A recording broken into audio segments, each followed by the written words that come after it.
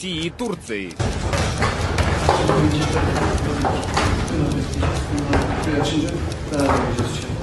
В этом зале любая иностранная делегация всегда ненадолго задерживается, ожидая сигнала, что российский президент готов к встрече.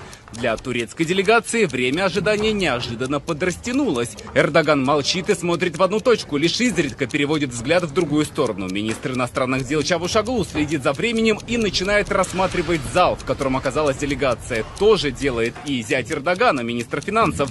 Министр обороны Турции, поправив свой галстук, оценил и внешний вид окружающих.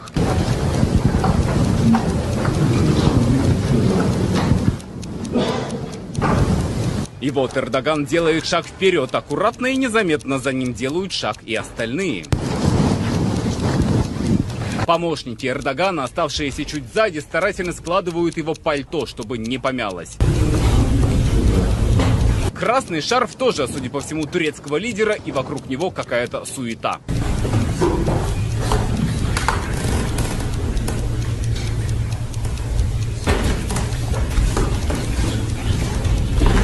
Кремль внушительная турецкая делегация приехала с большим чемоданом, который ставит на стол рядом важные документы.